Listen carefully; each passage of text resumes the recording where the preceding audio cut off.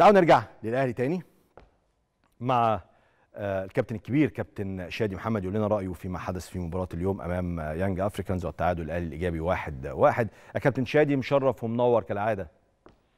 كيمو حبيبي تحياتي ليك ولكل مشاهدينك. وحشني كتير جدا. وحشني دايما يا رب دايما تكون بخير. حبيبي ربنا يخليك. المباراة النهارده شفتها إزاي؟ والرأي ليك رأي حر ومساحة حرة تتحدث فيها عما شاهدته في مباراة الأهلي اليوم مع يانج أفريكانز.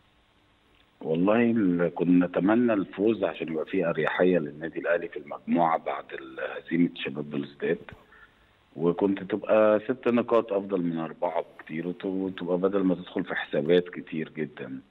ده فيما يخص المشهد يعني فيما يخص الأمور الفنية.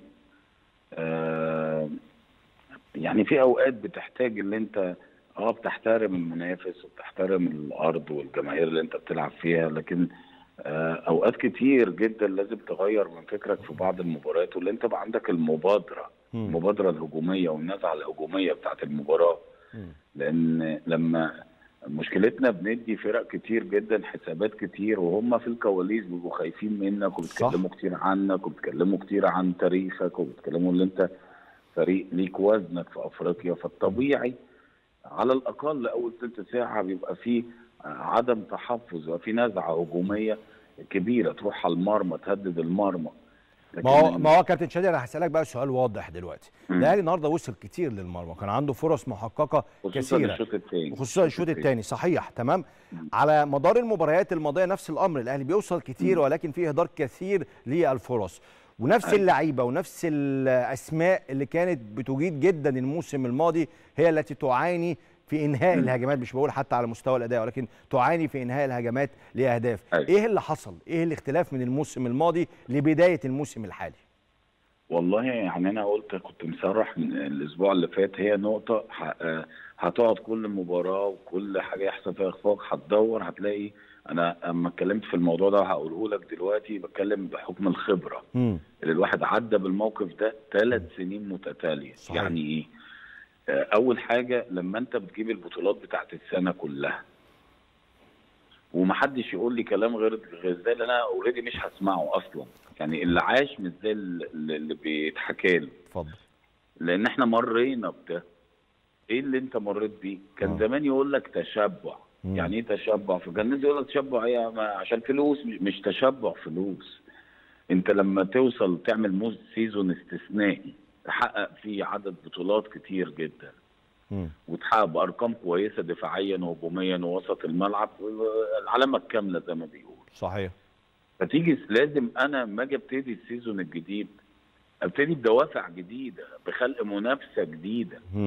لو أنا مشيت بنفس ال rhythm already اللعيب حقق كل حاجة. امم أنا ده دوري كمدير فني. لو أنا ما بلعبش الدور ده لازم أجيب واحد نفسي معايا والأهلي يستحق واحد على نفسي اسم كبير يكون موجود في الجهاز. امم ليه؟ علشان يخلق دوافع جديدة من أول وجديد. امم علشان أنت حققت سيزون استثنائي بأرقام متميزة جدا وشكرنا المنظومة الأهلاوية كلها. فلازم أخلق منافسة من أول وجديد. يعني ما ينفعش تحت أي ظرف لعيب ينزل من بيته ويبقى عارف بعد النجاح ده يبقى عارف اللي هو هيلعب. أبقى لا يجي عشان آخد منه ال 100% أخلق منافسة في المراكز ما بينها وما بين بعضها. خلق دوافع جديدة للفرقة. العلم بيقول كده ومرينا بده ولما عملنا ده الاداء اتطور. اللي يعني هو لنا اللي هو طلع لي دوافع مش تحسسني إن أنا عملت كل حاجة خلاص. بالظبط آه. ليه؟ لأن أنت عندك جمهور ضاغط عليك طول الوقت عايز الأفضل وما بيشبعش. طب هو كابتن شادي هو في دافع أكبر من إنه أبقى شايف ورايا جمهور النادي الأهلي؟ يعني أنا برضو أنا بتخيل لاعب النادي الأهلي إن هو كده كده الدافع عنده موجود طول الوقت عشان قدامه ووراه جمهور طول الوقت هيقول له فين؟ فين؟ فين بطولات؟ أنت بتبقى نازل من بيتكم كابتن شادي محمد وأنت طيب. واخد أكتر بطولات في النادي الأهلي هتلاقي واحد يقول لك إيه بس أنتوا ما خدتوش بطولة آه، الدوره الرمضانية مش عارف اللي هي فين. يا جدع أنا واخد. كل حاجة. مش هيسيبك. موافقك جدا. يعني مش هيسيبك مش هيقول لك إنه. عادي يعني واحدة.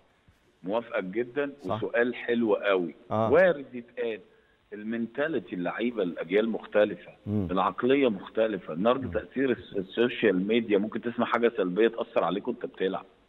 النهارده النهارده ممكن واحد يعمل لك فيديو يأثر عليك وانت قاعد في بيتك. النهارده اللعيبة ذات نفسها ساعات بيصرح تصريح تلاقيه بره ال 18 أو في مشكلة ممكن يعمل لك post. صح. العقلية اتغيرت ال- ال- ال mentality بتاع ال- ال- ال- الجيل متغير بشكل كبير مع التحديثات اللي حصلت فيه. لكن الأول انت كنت بتعمل اليوم الكامل وتقعد في النادي ما بتمشيش غير الساعة 7 8 بالليل قاعد من الساعة 8 الصبح لغاية 8 بالليل. شهور. صحيح. فاهم؟ النهارده لو عملت ده اللعيبه مش هتقدر تستوعب ده. ليه؟ ده فكر مختلف. صحيح. فلازم إن أنا أتعامل مع ده بالتحديث بقى ال- اللي أنا بقوله لك.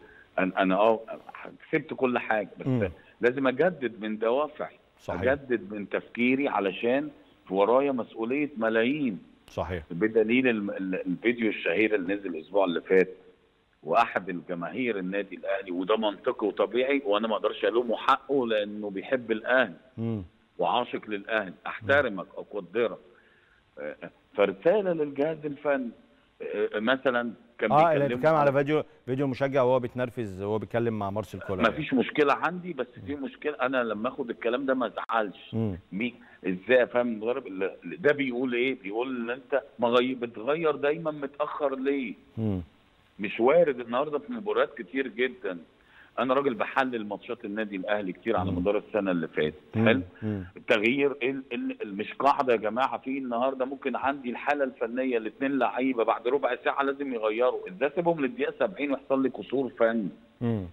مش ما فيش في الكوره ثوابت التغييرات مش ثوابت صحيح صحيح. التغيير بالذات مش ثوابت لأن ما أعرفش الحالة الفنية بتاعت اللعيبة النهارده عاملة إزاي. صحيح. ممكن أعمل تغييرتين أنشط الحالة ال- البدنية بتاعت الفرقه والروح الهجومية بتاعت الفريق. مثلا صحيح. دي نقطة. النقطة الثانية اللي أنا قلتها لك في البداية فكرة إزاي المبادرة بتاعتي أنا أستغل خوف الفرق مني أستغل اسمي تاريخي على الأقل الربع ساعة الأولى دايما. أنزل ضاغط اهدد المرمى ثم اتراجع للطريقة اللي انت عايزها. مفيش مشكلة خالص لكن ادخل الفرقة في المباراة 45 دقيقة ثم الشوط الثاني واعبر عن نفسي. ما دام ما دام قادر يبقى من الأول. صحيح. ده رأيي يعني. صحيح صحيح. كمان الأخيرة اتفضل يا عشان نتكلم في مصلحة النادي الأهلي وحبنا وعشقنا اتفضل. للنادي الأهلي يدفعنا نتكلم بأمانة اتفضل. إن إن آه، اتكلمنا في نقطة خلق الدوافع ال- ال- النزعة الهجومية النقطة الثالثة اللي بغاية الأهمية يا جماعة ال rotation يؤثر على مم. مم. برشلونة لا آه، هتعرف ال 11 اللي بيلعبوا مين آه، مانشستر سيتي ليفربول ال 11 معروفين باستثناء لما يبقى في غيابات أو طرد لازم أحافظ على جماعية الأداء صحيح. مش دايما ال rotation لو نجح معايا مش دايما ينجح لأن هو مرتبط بالجماعية مرتبط لو كريم بيلعب جنبي وقت طويل قوي ببقى فاهم إيه الديفول اللي عنده ببقى فاهم هيغطي هنا هيعمل إيه؟ في ظهري بيعمل إيه؟ هيكلمني إمتى؟ صحيح. ليها علاقة بالتجانس مع صحيح. بعض. صحيح. كابتن شادي محمد كابتن النادي الأهلي الكبير أنا بشكرك شكرا جزيلا على هذه المداخلة. كلام دايما مهم.